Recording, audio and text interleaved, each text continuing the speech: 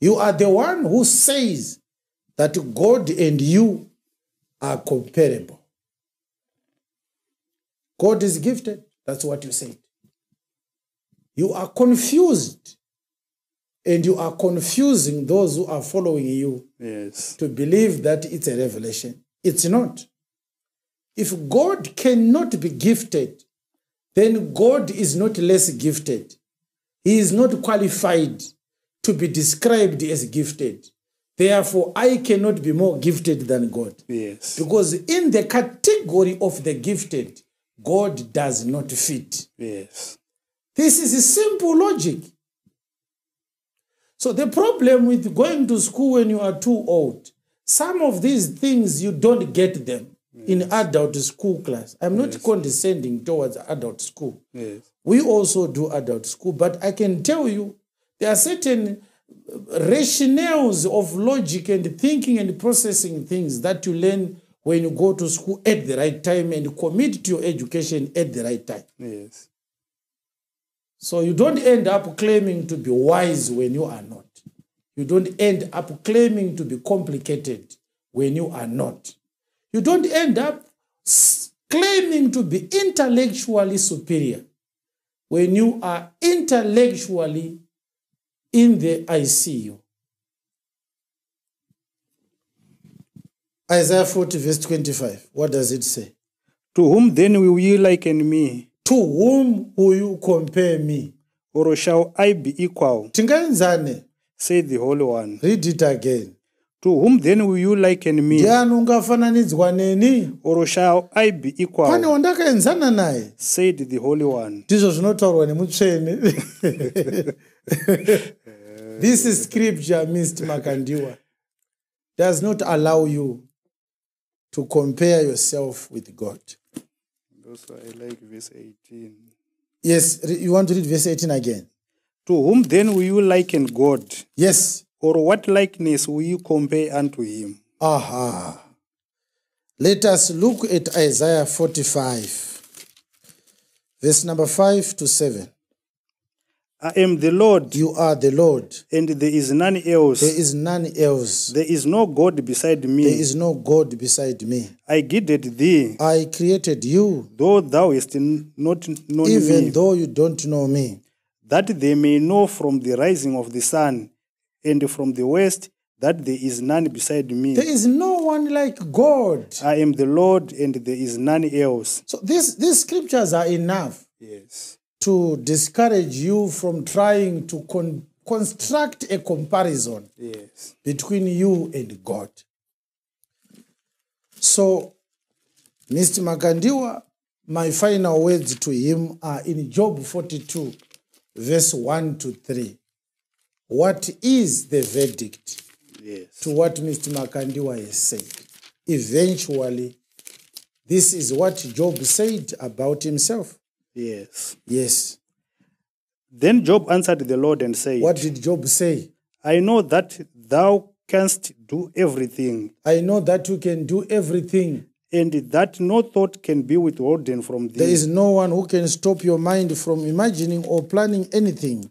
Who is he that hideth counsel without knowledge? That's what God asked Job.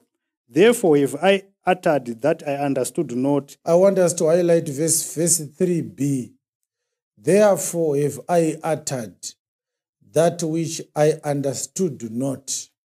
things too wonderful for me, which I knew I knew not.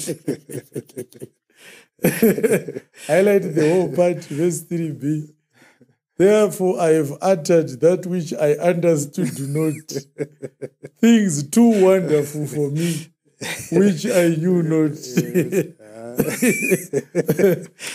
I, I, I thank God Job made this concession. yes. He said, Well, I didn't know that I spoke nonsense. Yes. This is rubbish.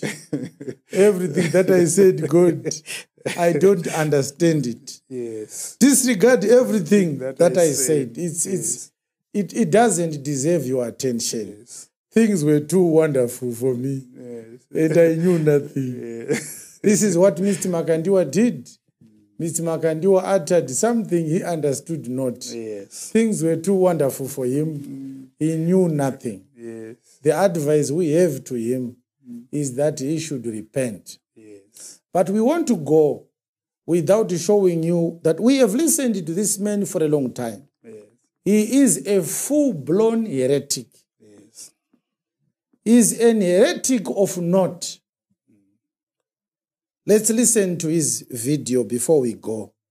And we will show you again that this message is not coming from someone who has the Holy Spirit in him, who fears and trembles at the word of God. He is not in the ministry to serve God.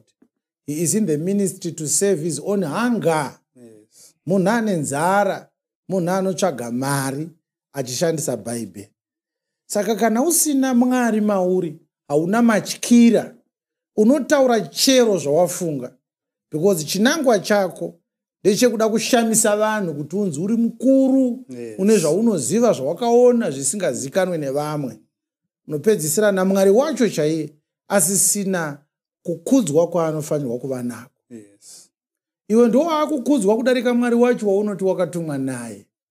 Kusvikira waakutozviona uine zvimwe zvinhu zvauchagona kuita zvisingagonekwe namwari. Ingozi iri mumusha yatiinayo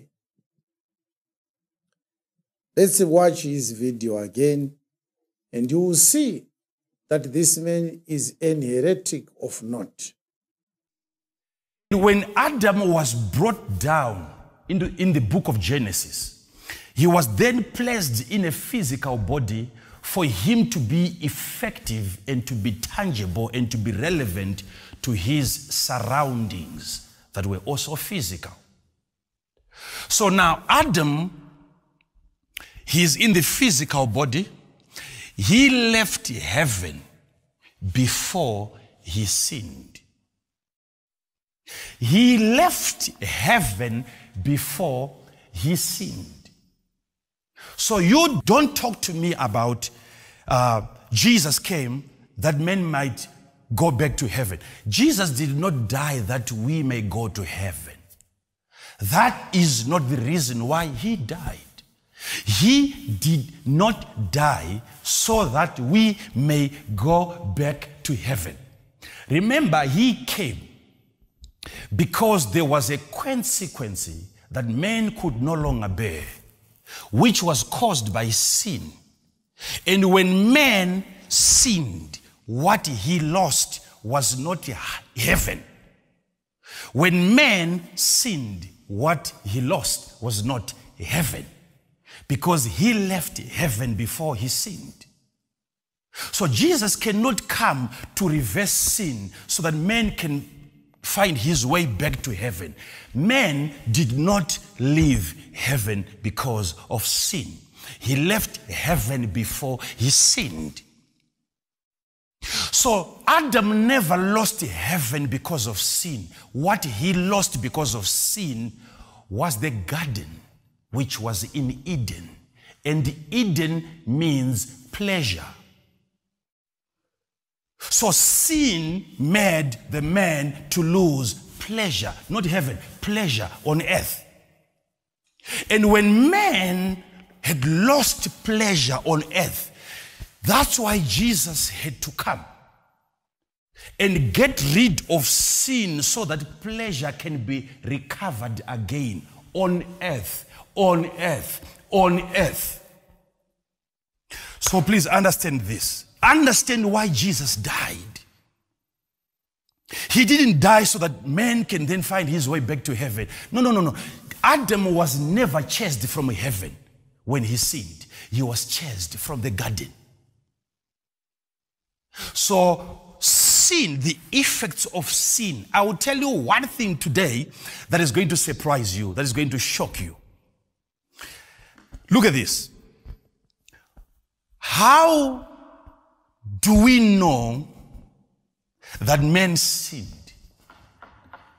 Tell me, what happened immediately when men sinned? When sin was committed for the very first time, what happened to men?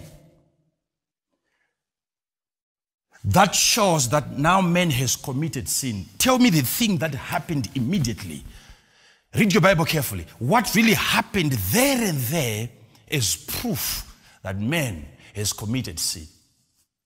He did not fall from heaven. No. When man sinned, the first sign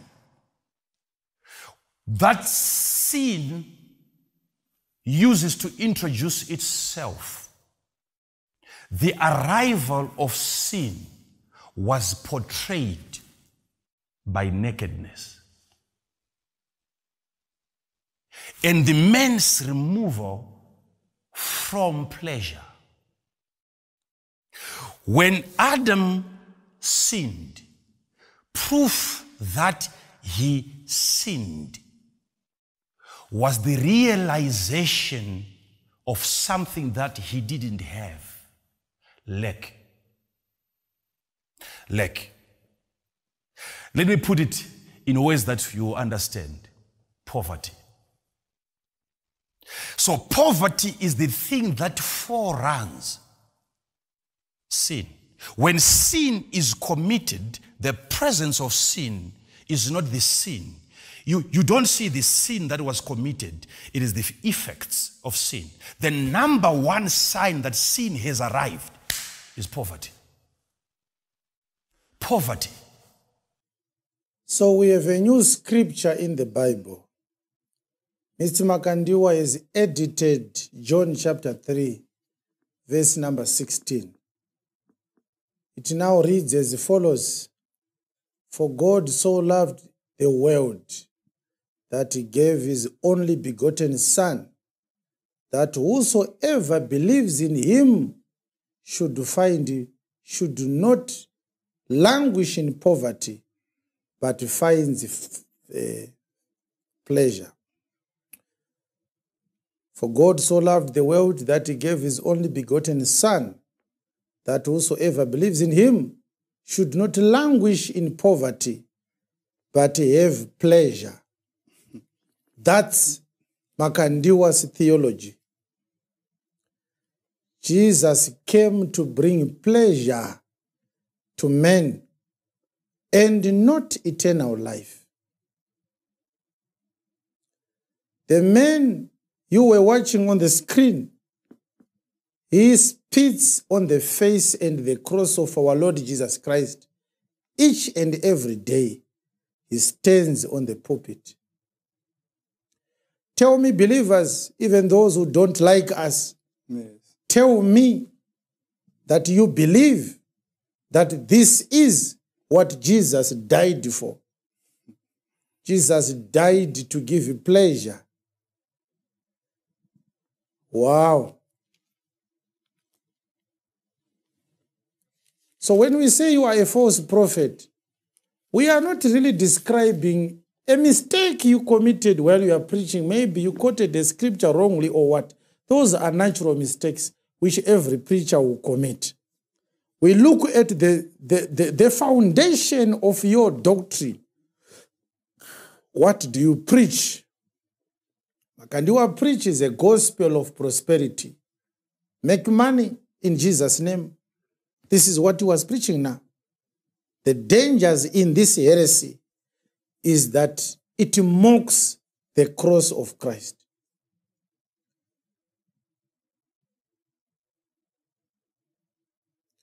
That's why Philippians chapter 3, verse 16 call these preachers enemies of the cross of Christ.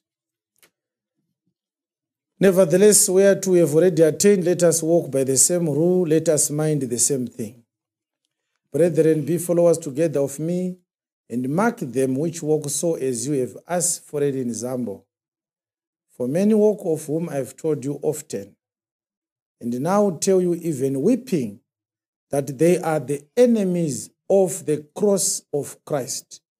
What do they do?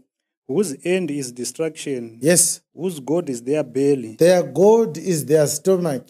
When they drive a beautiful car, God is great. Yes. When they marry a beautiful woman, it is God's grace. I am blessed. When they have pleasure. When they enjoy pleasure, they say, This is why Jesus came. Their God is their belly. Yes. and whose glory is in their shame, Yes, who mind earthly things. they mind earthly things. Yes, For our conversation is in heaven. let's end there. The whole clip is heretic. Yes. Adam was never in heaven. He said Adam did not leave heaven because of sin. That's not true. Adam was never in heaven. Adam was created here on earth. Going to heaven is not returning to heaven, it's going to heaven for the first time. Just like the children of Israel who came to Canaan from Egypt, they were not returning. Yes. They were born in Egypt. Just like the Israelites who left Babylon to go back to Israel, they were not born in Israel. They were born in Babylon. They were going to Israel for the first time. It's not true that Adam came from heaven and he was put into the garden. Yes. Such a scripture does not exist. Actually, Genesis says God created the earth, and from the earth, God made the man. God had to create the earth first before God created the man. But it happened here on earth, not in heaven. It's not true. Yes. And the fact that Adam was naked was not caused by the sin that they committed in the garden. Before, before, before they committed a sin in Genesis chapter 3, the scripture in Genesis 2:25 says they were both naked and they were not ashamed. Yes. Nakedness, which Makandiwa translated to mean poverty, was not caused by sin. Yes. They were naked before they sinned. Yes. The whole message is heretic. Now, to imagine such that such an heretic is boasting that he went to Bible college for three years. He is in love with the scriptures. He studies the scriptures. Which is scriptures now? So, Makandiwa, you don't know that the nakedness of Adam was not caused by sin. Oh. is it not a miracle now? It is. It is a miracle now. So this this was just a video to show you that we are not hating this man. We have no qualms with him. He is a false preacher. Is an heretic. He is a blasphemer. These are great swelling words. Jesus came to restore pleasure. Which pleasure did Adam have in the garden? Adam did not lose the garden because Adam was never given the garden. The garden was never given to Adam as a property. God recruited Adam as an employee. Yes. So if you are fired from your job, you can't walk around saying, I lost my company. Yes. You were an employee. Yes. In Genesis 2, verse 15, God employed Adam to keep his own garden. And the Lord God took the man and put him into the garden of Eden to dress it and to keep it. So was was what did, did God give Adam the garden? No, So how his. can you say when God kicked him out, Adam lost the garden? Adam was a tenant of God. Yes. He never lost the garden. He never owned it in the first place. Jesus, our Lord, did not die to restore pleasure. It's heresy. Great heresy from the devil's mouth. So, our advice to him is to go and read Job 42, verse 3, verse 3b. Job said, Therefore if I uttered that I understood not. Things too wonderful for me, which I knew not. Yes. This is what happened. But we want to also say if Mr. Makandiwa is a revelation to this matter, we can also meet. We are still available. Yes. We are still available. Believers, followers, and fans, sympathizers, critics, and haters. We thank you for watching our video. Yes. Mr. Makandiwa has no revelation. Mr. Makandiwa has an heretic claim.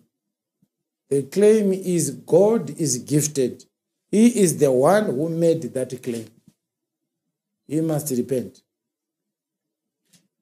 He must repent. It's not allowed for a man to compare himself with God.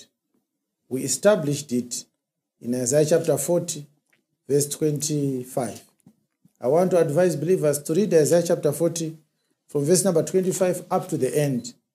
You will learn a lot of things which Mr. Makandiwa could have learned. Was he indeed truly a man who desires to learn? I am not here to prove that I understand the word better than Makandiwa. That's not why I am doing this. I am doing this so that people may learn the truth. I believe that among his followers, there are people who truly believe that he is a man of God. We do this to show you that he is not. A man who was sent by God, he ministers with a fear and trembling. Yes. You must honor God. You must watch your mouth. Don't say anything that despises God. Don't say anything that profanes the name of God. Don't say anything that denounces the authority of God. Don't say anything that belittles the glory, the power, the efficacy, the magnificence that God has. Exodus 20 says, Thou shalt not mention the name of the Lord thy God in vain. This is what Mr. Makandiwa does habitually, systematically, relentlessly. That is a sign that inside his heart there is nothing of God planted in him. Those who know God don't say anything that comes into their minds about God. You hesitate, you breathe to your mouth. If God is your master, where is the honor that a servant must render to his master? It's very regrettable, but we hope one day those who are deceived, God will touch their hearts to believe the word of truth that glorifies God. John spoke in, in, in John chapter 3, verse number 29, 30, and 31. He said, May Jesus increase and may I decrease. What causes you to put God on a scale to measure how much God weighs? If you are a spirit filled servant of God, child of God. The book of Ecclesiastes, chapter 5, verse 5, it says, When you come to the house of God, let's read verse number 2. When you come to the house of God, do not be rash with your mouth. Let not your heart be quick to utter anything before God. Read it. Be not rash with thy mouth, and let not thine heart be hasty to utter anything before God. Why? For God is in heaven, God is in heaven. and thou upon earth. You are on earth. Therefore let thy words be few. Even your words towards God should be few. Yes. Don't be too quick to open your mouth and speak any words towards God. Yes. Honor God with your mouth. Yes. Walk away from men who start to belittle God and start to honor themselves in the name of revelation. You are going to hell if you continue to follow these men. A message that does not honor God is not correct. A message that misrepresents the purpose of Christ. What did Christ die for? According to 1 Corinthians 15, verse number 3, for first of all, I have delivered unto that which I received, that Christ Jesus died for our sins according to scriptures. That's the message. Christ died for our sins so that we may receive forgiveness of sins, adoption into sons, a relationship with God, by which we shall fellowship with him eternally. That is the purpose of Christ. If a man comes to say, No, the purpose was not forgiveness of sins, adoption of sons, eternal life. Actually, the purpose is pleasure. Those are great words. Don't belittle the suffering of Christ. You are going to pay in the last day. Our message to Mr. Makandiwa is to come back to God. This is getting worse. For how long shall this lunacy continue to haunt you?